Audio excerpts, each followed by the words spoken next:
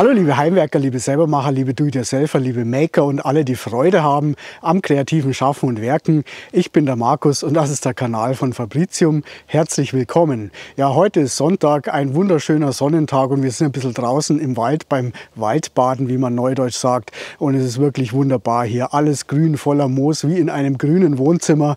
Und überall liegen natürlich Fichtenzapfen rum. Und das ist auch das Thema von dem heutigen Video. Ich möchte zusammen mit euch ein Schreibgerät, einen schönen Stift aus so einem Fichtenzapfen bauen. Ich wünsche euch viel Freude beim Video. Los geht's! Ja, liebe Zuschauer, so schauen sie aus, meine frisch geernteten Zapfen aus dem Wald. Noch etwas feucht wahrscheinlich und geschlossen. So können wir sie für unser Schreibgerät, für unseren schönen Stift leider noch nicht verwenden, sondern wir wollen sie ja schön offen haben und trocken vor allem. Das heißt, wir könnten diese Zapfen jetzt entweder in die Sonne legen und uns gedulden oder aber, und so werden wir es jetzt auch machen, wir legen so einen Zapfen in die Mikrowelle und lassen ihn dort trocknen.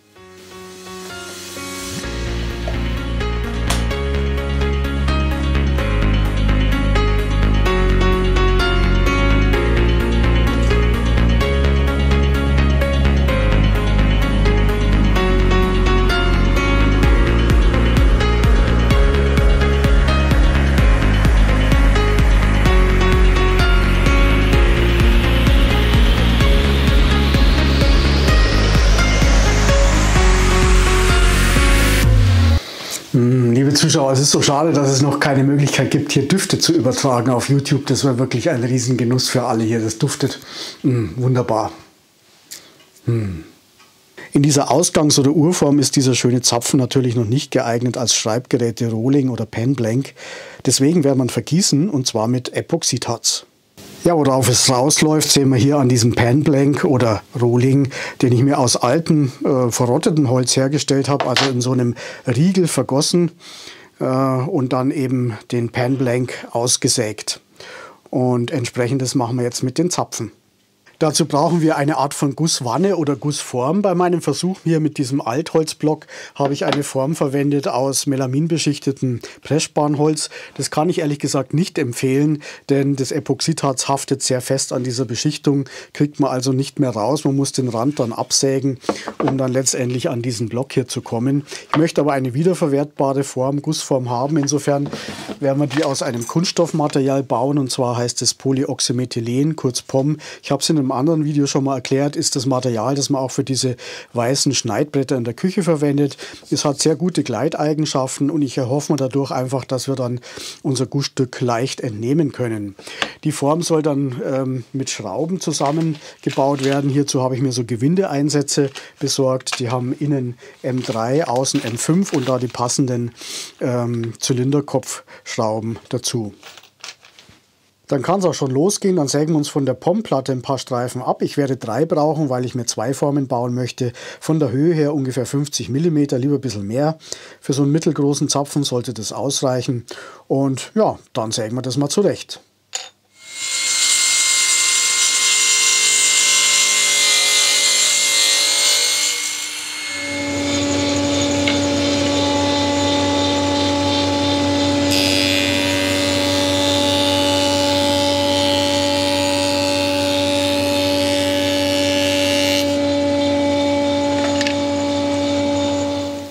Da bekommt man wirklich sehr schöne Kanten hin, wenn man die an der Hobelmaschine noch mal etwas abrichtet. Ich hoffe, dass unser Gussbehälter damit dann auch dicht ist und nicht ausläuft.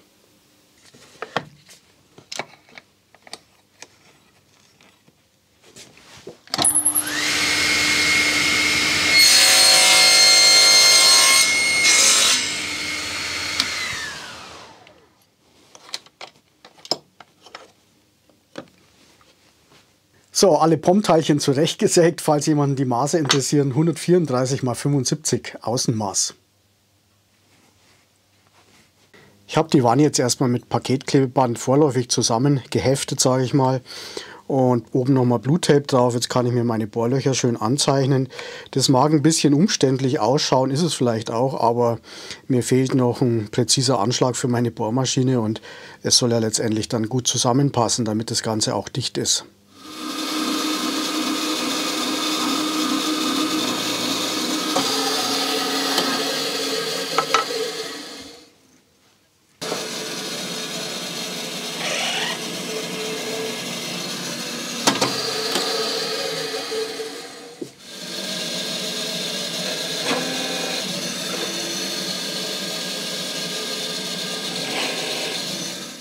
Einschrauben der Gewindeeinsätze nehmen wir uns einfach so eine M3er Schraube mit zwei M3er Muttern festgezogen hier, damit der Gewindeeinsatz einen Anschlag hat und damit kann man den schön eindrehen.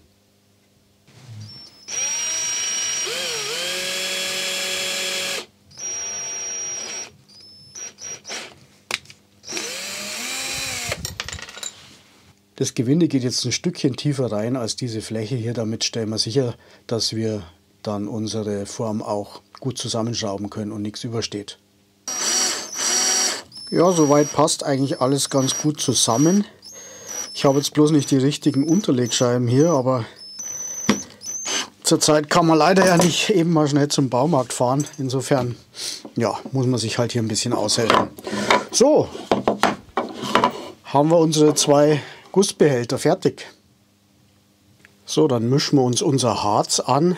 Ich habe jetzt 250 Gramm ausgerechnet, was ich brauche. Davon 90 Gramm härter.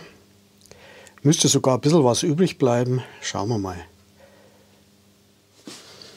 Dann mischen wir mal das zusammen. Hoffentlich passt es alles rein. Ja, gerade so. Dann das Ganze ordentlich verrühren hier. Ich habe jetzt hier so ein Goldpigment, das möchte ich mal für einen Zapfen verwenden. Den anderen mache ich grün, da habe ich noch ein zweites. Oder vielleicht mache ich es auch zweifarbig, muss ich mir noch überlegen. Auf jeden Fall den einen mache ich einfarbig. Und ich habe jetzt keinerlei Erfahrung, ehrlich gesagt, mit solchen Pigmenten. Das probieren wir jetzt einfach mal aus, wie das wird. So, da gebe ich jetzt einfach mal Pi mal Schnauze was dazu. Mal gucken.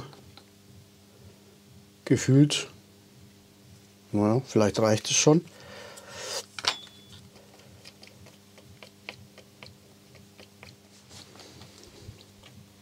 Ja, ich glaube, ein bisschen was kann es noch vertragen.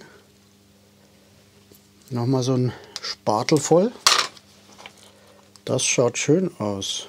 Wird ja richtig goldig. so, dann kommt jetzt der spannende Augenblick. Ich bin gespannt, ob unsere Form dicht ist oder ob es mal unten rausläuft, die Soße drückt mir die Daumen. Los geht's.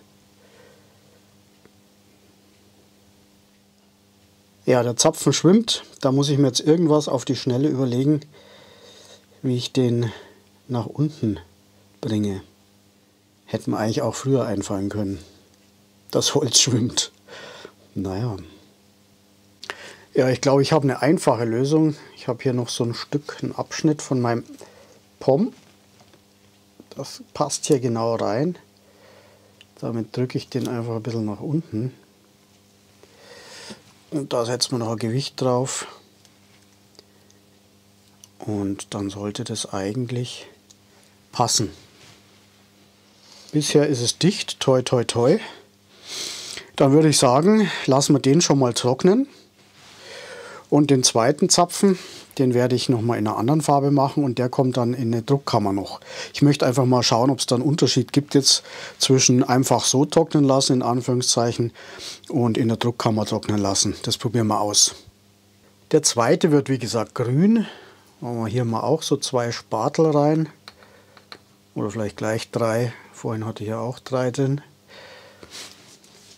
Ich habe jetzt hier noch ein paar Tropfen von dieser Farbpaste für Kunstharze, heißt sie, Bernsteinfarben, dazugegeben.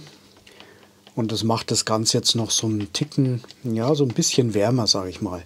Ich werde es jetzt aber, opala, ich werde es jetzt aber auch nicht so super gut verrühren, weil ich diese Schlieren eigentlich ganz nett finde hier. So, und der kommt jetzt in die Druckkammer. Wie gesagt, ich möchte einfach mal schauen, ob es da einen Unterschied gibt dann von der Qualität her. Ja, das machen wir jetzt. Ja, das ist so ein Druckkessel, wie er für Lackierarbeiten, also für Spritzpistolen verwendet wird. Den habe ich leicht umgebaut, damit er eben hier als Druckkammer für die Rohlinge geeignet ist.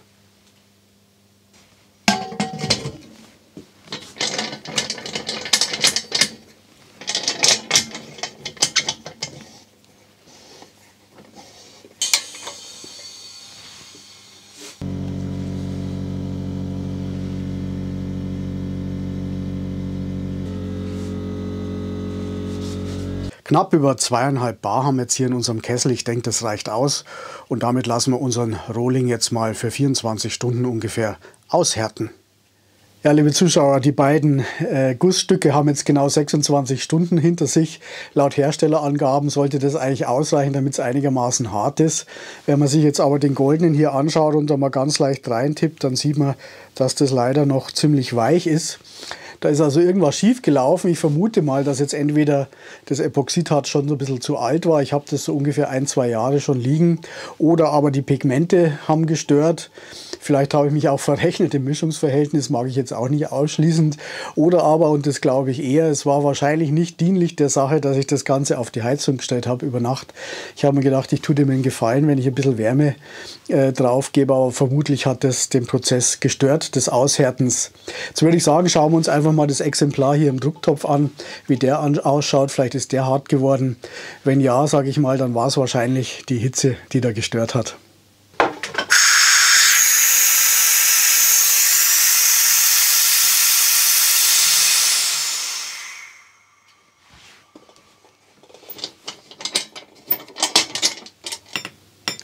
Jo, der passt. Dann war es wahrscheinlich die Heizung, sagen wir mal. Dann schrauben wir den mal auseinander und sind gespannt, ob wir es auseinander bekommen.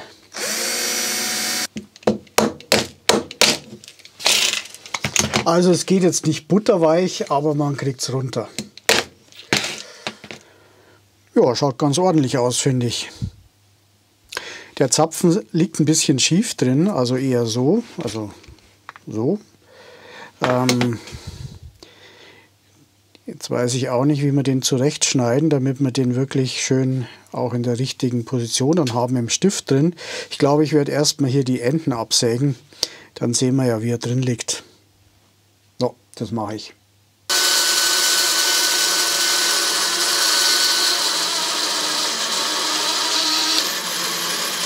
Hier sieht man es ja recht gut, wo das Zapfenzentrum ist, also an der Stelle ungefähr.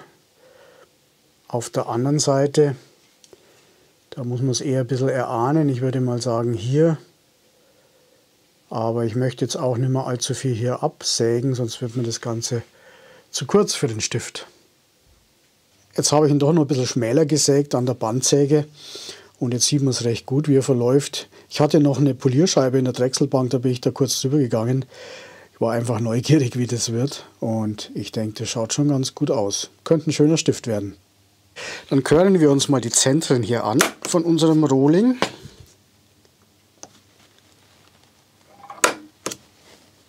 Im ersten Schritt drechseln wir uns unseren Rohling erst einmal rund, damit man dann leichter einspannen können. Dazu habe ich hier schon mal eine kleine Bohrung eingebracht, 3 mm ungefähr vom Durchmesser. Eben deswegen, damit wir hier diesen Vierzack-Mitnehmer jetzt nicht wie ein Wahnsinniger mit dem Hammer einschlagen müssen, sondern wirklich nur anpressen können. Wir brauchen ja hier keine große Kraft zum Mitnehmen. Im Reitstock haben wir unsere mitlaufende Körnerspitze und damit pressen wir jetzt vernünftig an. Ich habe mir vorher den Verlauf von dem Zapfen im Rohling angezeichnet und es sollte jetzt eben schön in einer Linie sein mit dem Vierzack und der Körnerspitze.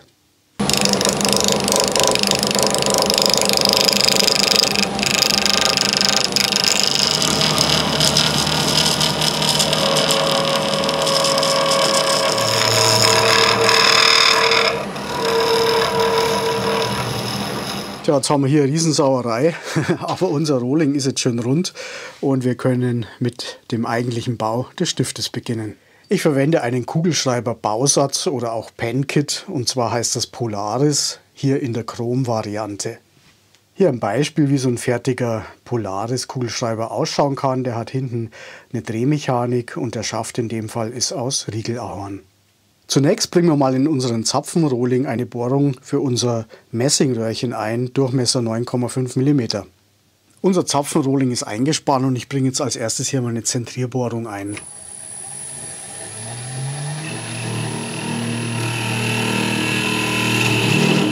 Dann geht es weiter mit unserem 9,5er Bohrer.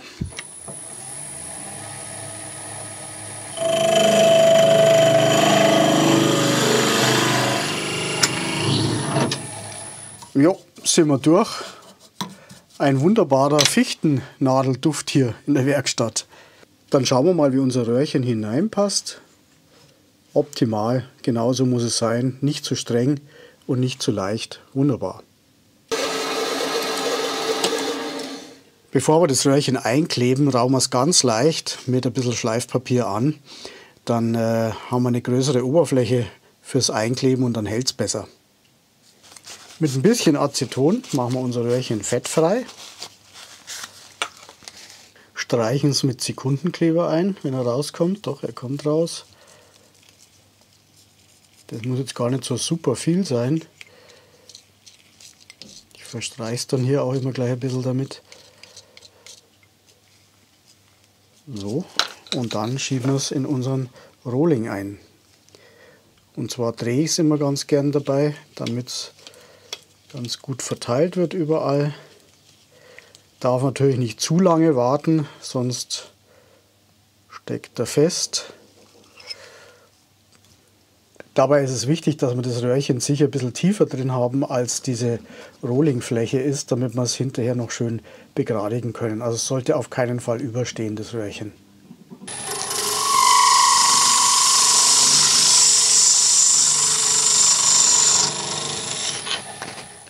So, ich habe das, was übersteht, größtenteils jetzt abgedrechselt oder abgestochen. Ähm, den Rest machen wir mit einem Planfräser weg und das natürlich auf beiden Seiten, also nicht ganz bis aufs Messing runter, sondern bis kurz davor, sage ich mal. Und dann können wir uns das mit diesem Planfräser hier schön eben plan oder orthogonal fräsen. Und zwar genau bis dahin, bis man das Messing schön glänzen sieht. Das wird man gleich sehen.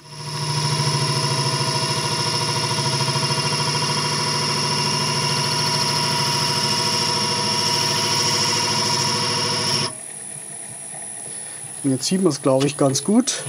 Das Messing fängt jetzt hier zum Glänzen an. Das heißt, wir haben an der Stelle das Röhrchen erreicht. Und wenn es auf den ganzen Umfang so ist, dann können wir eigentlich auch schon aufhören an der Stelle. Zu viel sollten wir auf jeden Fall hier nicht wegmachen, weil sonst passen die Stiftgeometrien nicht mehr. Dann wird der Stift zu kurz. Was ich an der Stelle immer ganz gerne mache, ich gehe noch mal ein bisschen mit der Stahlwolle rein, einfach hier mit der Hand andrehen und dann brechen wir innen die Kante und somit bringen wir da unsere Mechanikteile leichter rein. Und ja, damit ist die Seite fertig. Auf der anderen Seite machen wir genau das gleiche. Und dann schaut unser Zapfen so aus. Und dann kommen diese sogenannten Bushings drauf, also Leeren, die den zum Beispiel hinteren Durchmesser abbilden oder den vorderen, damit man eben weiß, äh, welchen Durchmesser man runterdrechseln muss. Und ich nehme die hintere auch auf den hinteren Teil des Zapfens. Da ist er dicker gewesen und die vordere natürlich dann auf die andere Seite. So. Ich habe mein Mandrell eingespannt und jetzt können wir unseren Zapfenrohling entsprechend aufschieben und dann eben fixieren. Bisschen spannen hier und dann müsste eigentlich gut laufen. Und wir können anfangen, unseren Stiftschaft in Form zu bringen.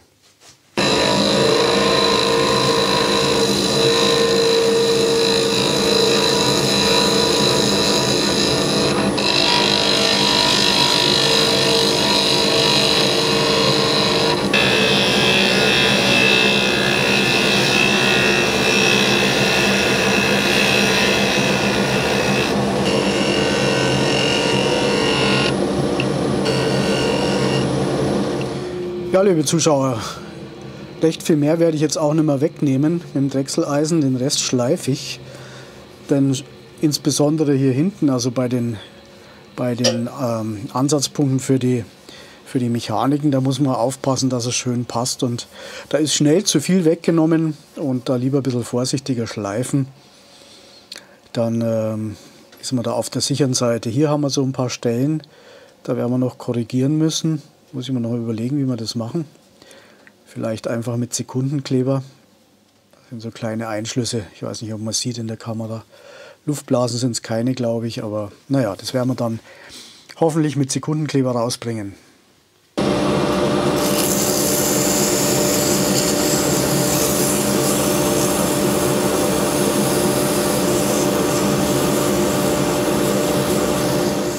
Schaue mir die Übergänge immer ganz gern zwischendurch mal an. Denn nichts ist äh, unperfekter an so einem Stift als so ein Übergang, wo man hängen bleibt. Und das spürt man hier ganz gut, dass der eigentlich ziemlich gut ist, würde ich sagen. Wenn ich da jetzt noch ein bisschen fein schleife, ähm, dann glaube ich, ist das genauso, wie es sein soll. Perfekt.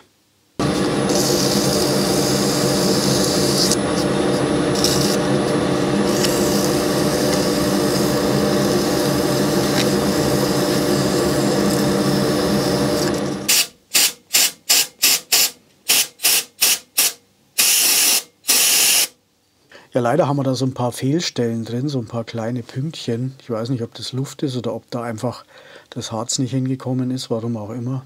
Oder jetzt was ausgebrochen ist, vielleicht war da noch Samen drin oder man weiß es ja nicht. Insofern werde ich die versuchen zu reparieren mit Sekundenkleber in der Hoffnung, dass man das natürlich nicht mehr sieht dann hinterher. Schauen wir mal.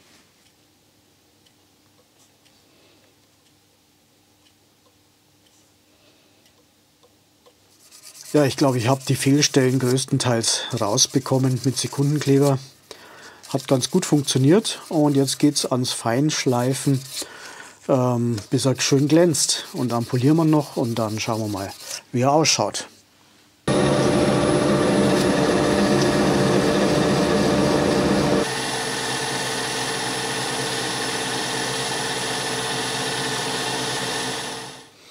Ja, schaut schon ganz ordentlich aus, würde ich sagen. Ein bisschen trüb ist er noch an der einen oder anderen Stelle, hier zum Beispiel. Das polieren wir jetzt raus, würde ich sagen.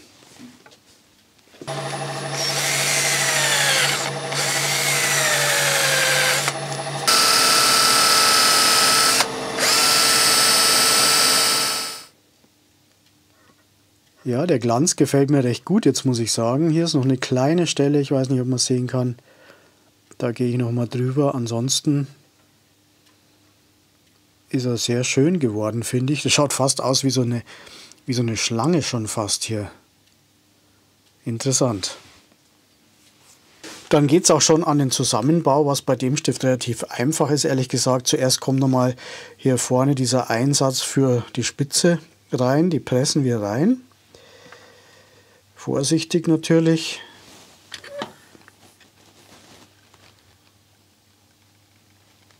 Zum Anschlag Genau. Dann kommt als nächstes, und da muss man aufpassen, ich habe den schon mal vergessen, hier eben unser Clip.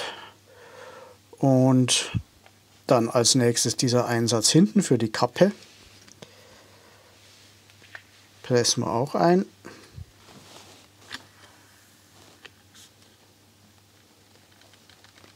So. Und als nächstes kommt dieser Drehmechanismus noch hinten dazu. Da muss man jetzt ein bisschen vorsichtig sein.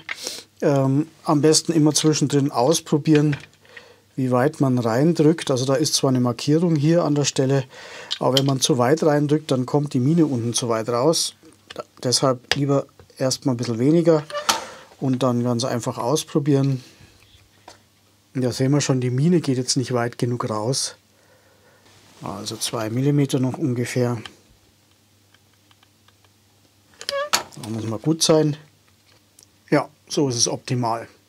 Und zum Schluss kommt hinten noch die Kappe drauf, die wird einfach aufgesteckt und dann hat man hier einen schönen, leichtgängigen Drehmechanismus für die Mine.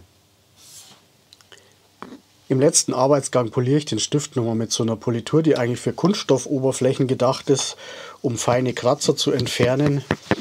Und damit gehen wir jetzt einfach nochmal hier über unsere gegossene Oberfläche drüber und entlocken dann nochmal den letzten Glanzfaktor.